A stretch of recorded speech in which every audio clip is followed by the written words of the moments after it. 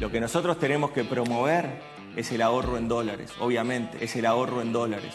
Yo también puedo salasear a Raguetesca. Yo también puedo salasear a Raguetesca. Bueno, crees mal. crees mal, Edgardo, ¿qué crees que te diga? Voy a ser sincera, me tuve que tener que sentarme en una mesa y explicar por qué robamos, muchachos, robamos, robamos.